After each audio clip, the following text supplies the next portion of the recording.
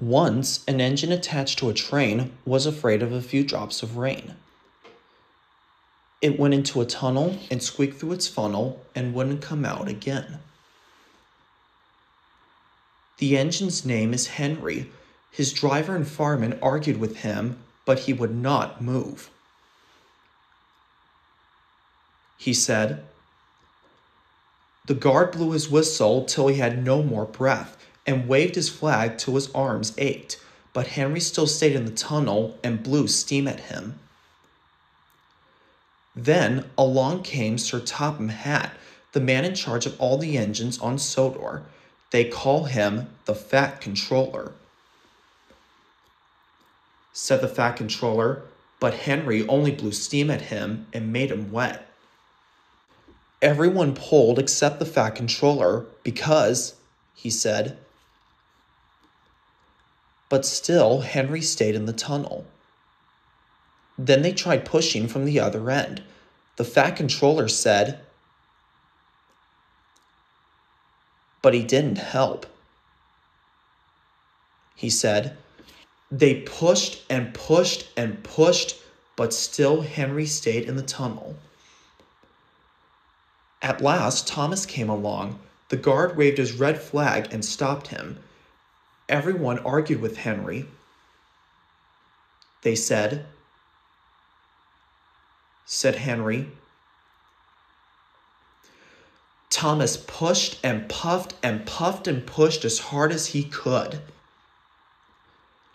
But still, Henry stayed in the tunnel. Eventually, even the fat controller gave up. He said, They took up the old rails and built a wall in front of him so that Henry wouldn't get out of the tunnel anymore. All he could do was watch the trains rushing through the other tunnel. He was very sad because he thought no one would ever see his lovely green paint and red stripes again. As time went on, Edward and Gordon would often pass by. Edward would say, and Gordon would say, Poor Henry had no steam to answer. His fire had gone out. Soot and dirt from the tunnel had spoiled his lovely green paint and red stripes anyway.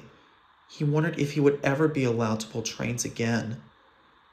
But I think he deserved his punishment. Don't you?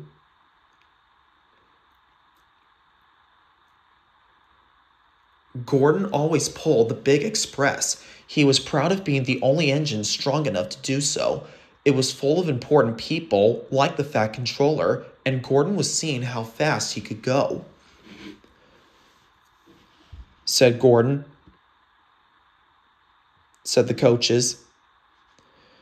In a minute, Gordon would see the tunnel where Henry stood bricked up and lonely.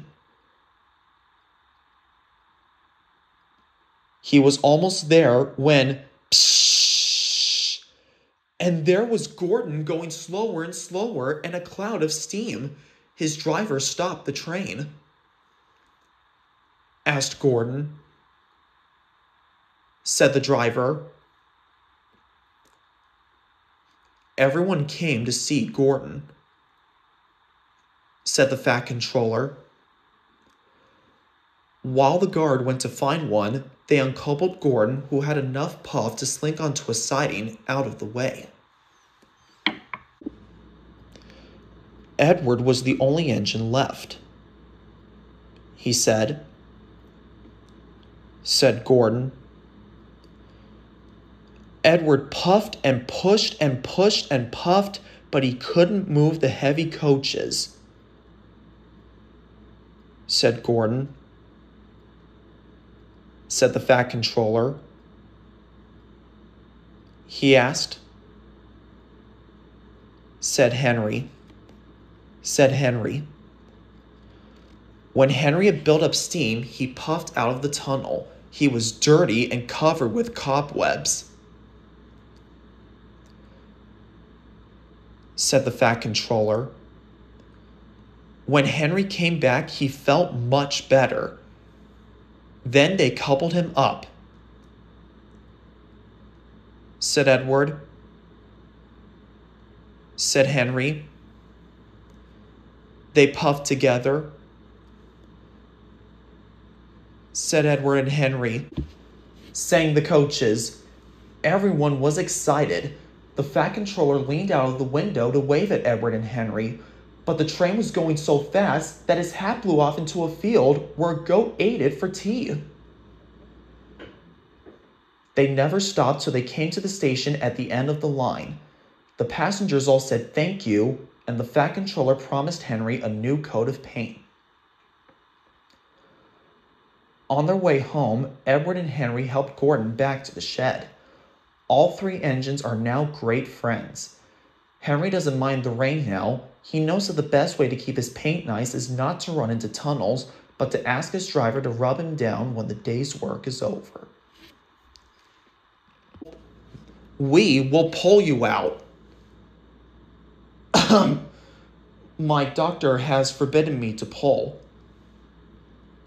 One, one, two, three, push!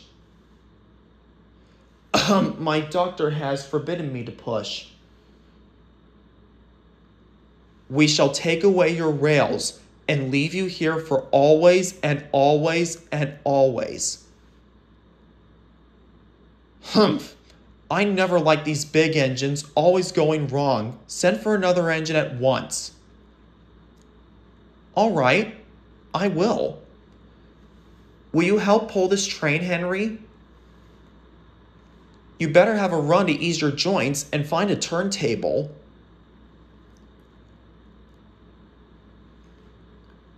You've burst your safety valve, Gordon. You can't pull the train anymore.